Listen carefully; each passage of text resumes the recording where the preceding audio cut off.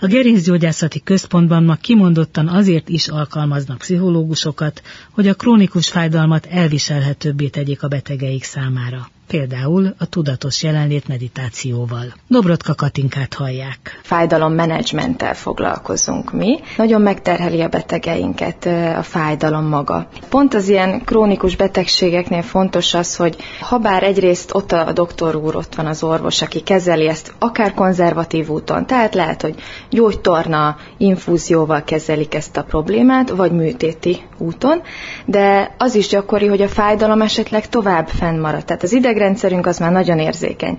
Régen úgy gondoltuk, hogy egy sérülés az úgy jön létre, hogy a szövet megsérül, és akkor az agyunk az egy passzív befogadó, létrejön a fájdalom. Ma már tudjuk, hogy az idegrendszernek nagy szerepe van abban, hogy a fájdalom, mint élmény, az hogyan is alakul ki. Egy krónikus fájdalomnál lehet, hogy már nincs is oka a fájdalomnak, de még mindig érzi az idegrendszer, mert megszokta, tehát én valami ilyesmit vélek kihámozni a szavaiból.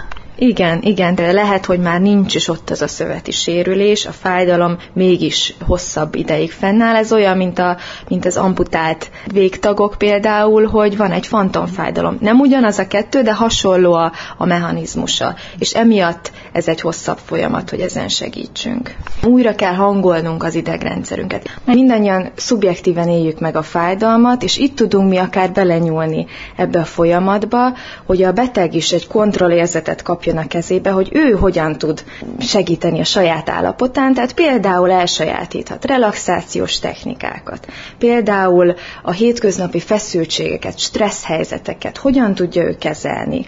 Vagy ugye, mivel ez egy életmódbetegségként is tekinthető, ez a gerinc probléma, hogy akkor az életmódban mik azok, amiken esetleg ő tud változtatni. Általában mindenkinek jó, ha relaxál, mindenkinek jó, hogyha az életmódján változtat, de hogyan segít ez a fájdalmon? A relaxáció az magába ugye úgy segít, hogy a szervezetünkbe egy teljesen más állapotot hoz létre fiziológiásan. Tehát kimutatható az, hogy olyankor csökken a vérnyomás, és ellazulnak az izmok. Tehát ez itt a lényeg, hogy az izmokat, ha mi el tudjuk lazítani, akkor jobban tudják vinni a terhet, és csökken a fájdalomérzet is.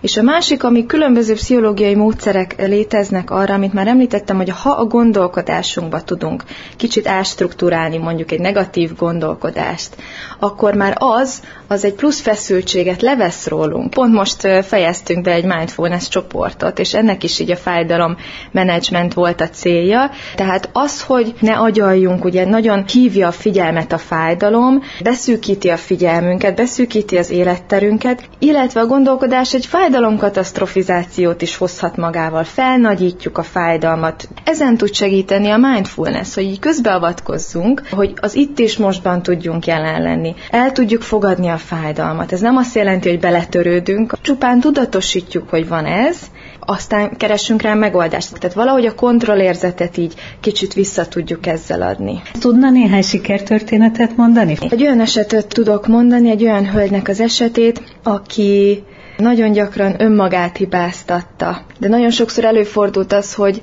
bármi pici tünetet tapasztalt magán, akkor mindig jorgálta magát, hogy ez már megint az én hibám, miért csináltam ezt magammal, fokozta állandóan a feszültségeit, és amikor pont egy ilyen negatív, automatikus gondolatokról volt szó, tehát ilyen torzítási hibákról, amik a gondolatainkban megjelennek, akkor ő ebből nagyon sokat tudott kapacitálni később, hogy azzal szembesült, hogy ez lehet, hogy az én torzítási hibám, ez a gondolkodást. Hát amit úgy fogalmazott a percel forintos dúra, hogy ezek csak gondolatok, ez nem a valóság. Így van, így van.